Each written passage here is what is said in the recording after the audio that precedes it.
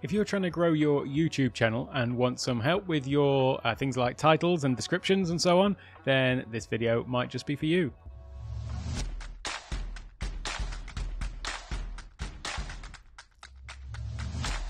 Hello and welcome to Take One Tech. My name is Alec, and today we're going to talk about uh, a little tool that you might be interested in that could help you with your YouTube channel. Now, I'm not here to give you expert advice on growing a YouTube channel because as you may know, my channel's only been around for about three weeks, so I'm hardly the person to give you expert advice on uh, how to reach those millions of subscribers that you may be striving for. However, what I can tell you is a little tool that I've been using myself, which I found really useful. It's actually helped me um, in terms of as I say, getting those uh, titles right, the uh, descriptions, tags, and things like that, and finding topics and so on. And that's something called TubeBuddy.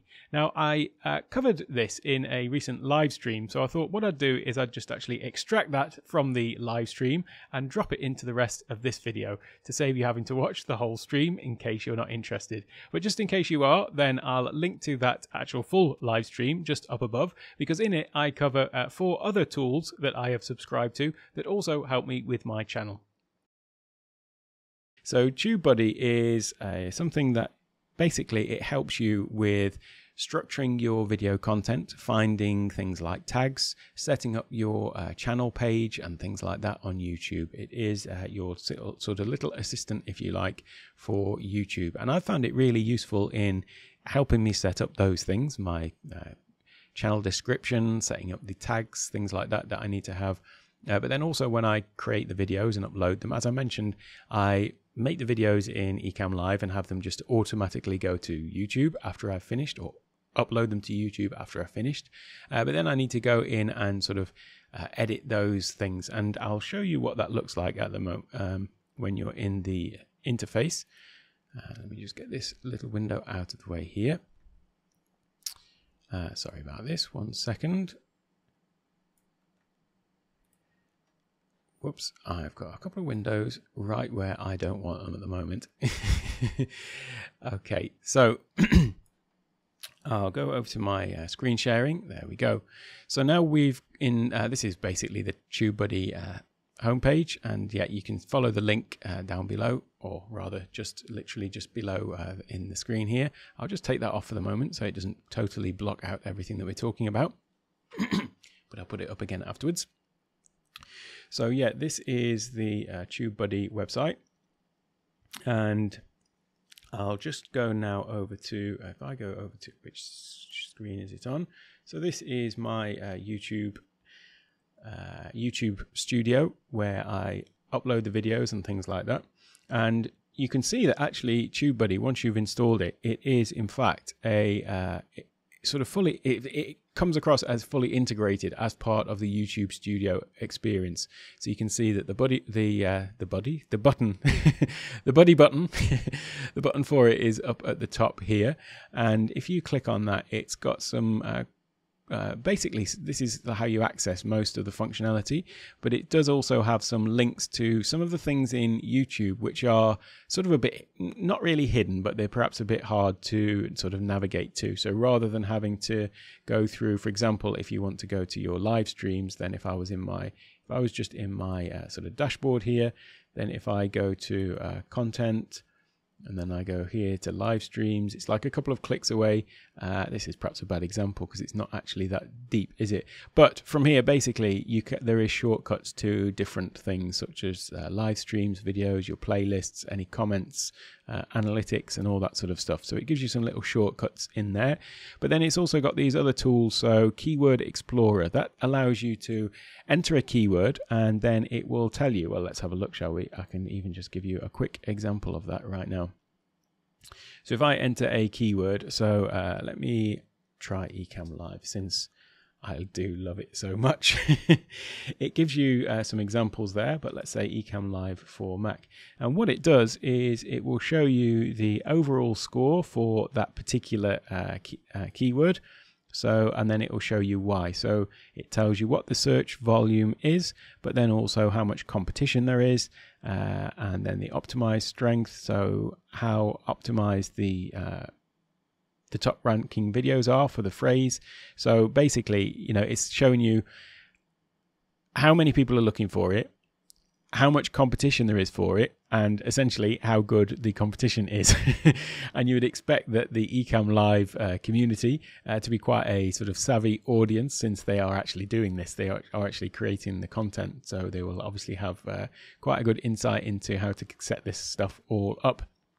Um, but bear in mind, this is just one keyword, so you would use multiple keywords in your videos, and so you know you might uh, you might not get a, the best results from this particular one, or I might may not in this case, but there may be um, uh, plenty of other ones. And in fact, here you can see related searches. So it will show you all the different plugins, uh, uh, sorry, all the different uh, keywords. And so you can just go through and tick which ones you want and either add them to your video or you can actually create lists of keywords as well. So if you are uh, doing making videos or live streams about multiple different things quite regularly, then you can just uh, click them all and add them to a, a topic planner or a, a, list, create a list, and then you've got that list then. So every time you do a video on that topic, you can drop them in.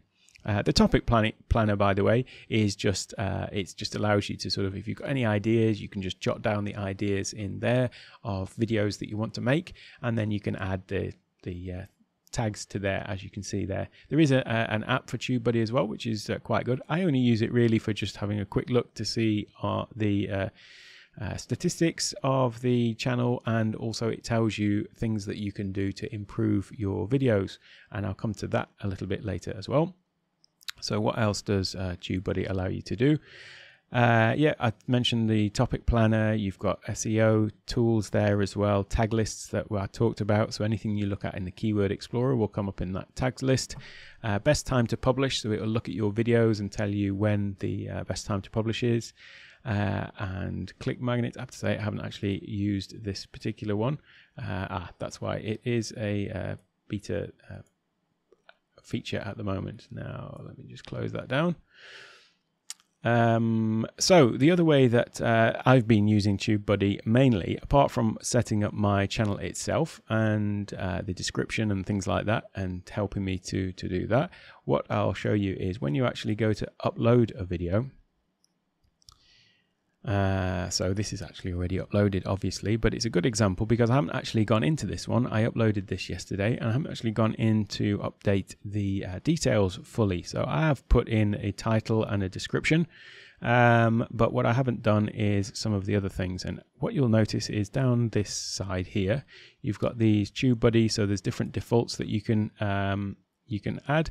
I've not actually done that yet, as you can see, uh, for things like descriptions and end cards, which are uh, where the video is ending, and then there's different things that you can link to at the end.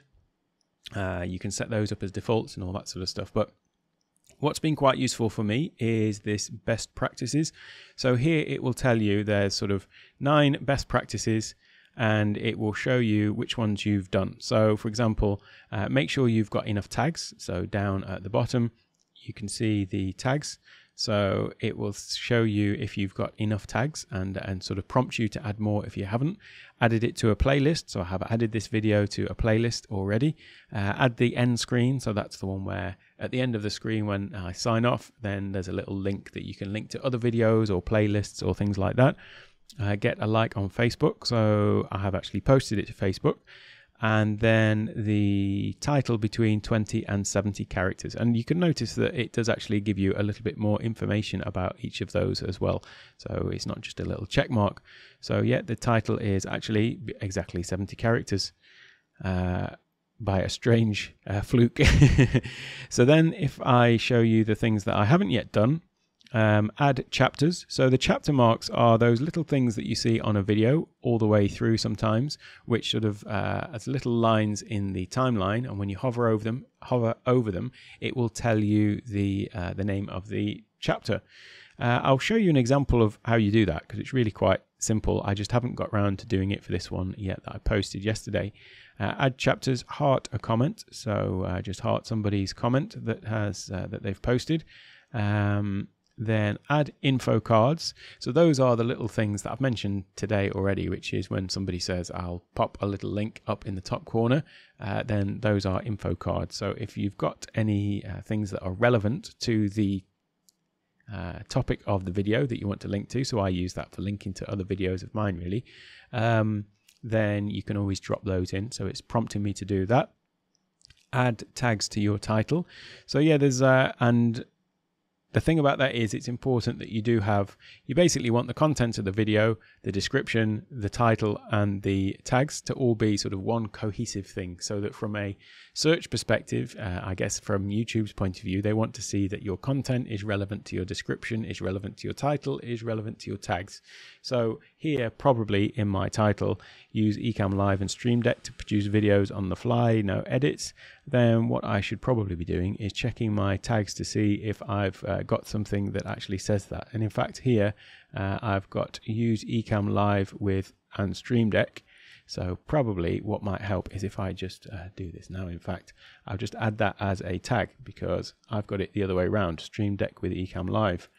So there we go. If I drop that into there, uh, typical. There we go. so let's save that and see if that has actually just helped me uh, eliminate that one thing. Now what you will have to do is add tags to your titles. If I come out of this and then if I go back into it again afterwards,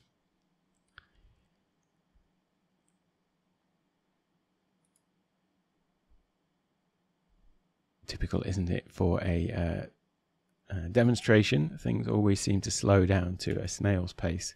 But if I go back into this one now, what I'm hoping is that that little note there will have gone. So yeah, you can see that it is uh, it's gone. So now there's now six completed, and I've just got these other four to do. I won't uh, won't bore you with those doing them live now. Uh, I'll go back and do those afterwards.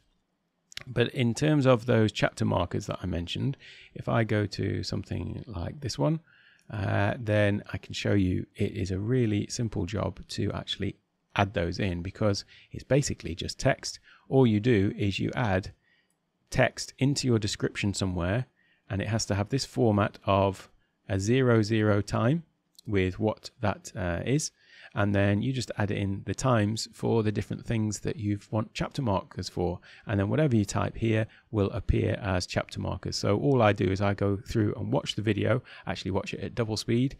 Uh, by the way I recommend watching my videos at double speed because when I watch them at single speed they do seem a little bit slow whereas sped up they uh, seem to iron out some of the pauses and gaps that I take as I uh, struggle to eliminate ums and ers from my delivery. Uh, but anyway, so yeah, you just add it in like that as text in your description, and then it pops into the timeline. So that's quite clever. It's pretty easy to do.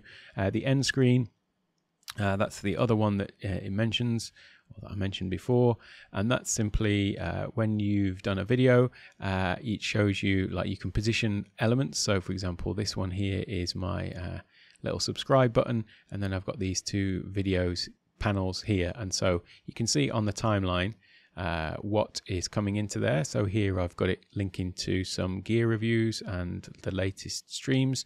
And the way I have it done is this little outro animation. In fact, I can probably play it for you just quickly to sort of illustrate the point.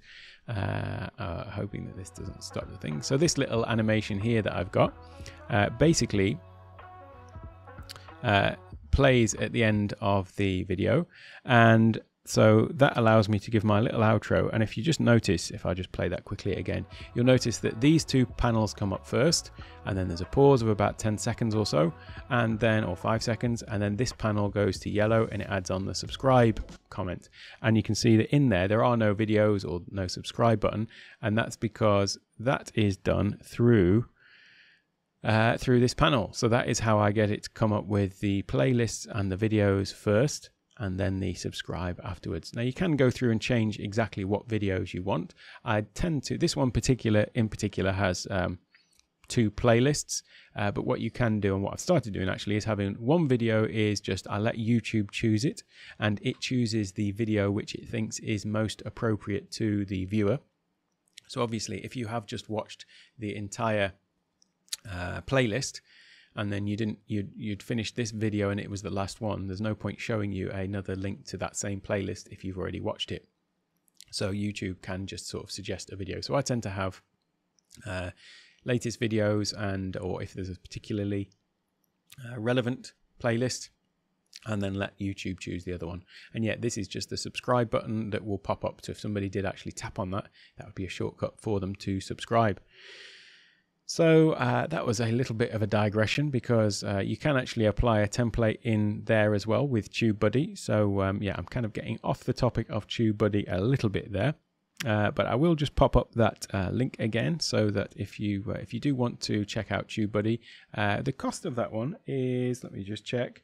yeah, seven dollars twenty a month. But if you've got less than a thousand subscribers, and I'm quite significantly less than a thousand subscribers, uh, then it's half price. So it's only like three dollars a month. But I do think that it is um, certainly helped me in terms of at least almost learning how to optimize my videos or learning how to uh, populate the information uh, correctly and it's just a good sort of visual uh, visual cue as well to uh, make sure it serves as a sort of checklist. So you can see in this video, uh, I've actually done everything that TubeBuddy told me, and it said all best practices complete. So yeah, for a couple of dollars a month or three or four dollars a month, it uh, it certainly seems a worthwhile addition to my list of uh, subscriptions. I hope you found that useful. And if you did find it useful, then don't forget to hit the uh, like and subscribe so that you get notified of any future videos I make. If you've got any questions or comments about uh, TubeBuddy or anything in general, then you can leave those down below as well. So that's all for me today. I look forward to seeing you in one of the other videos, which I've linked to up here. And until the next time, have a great day.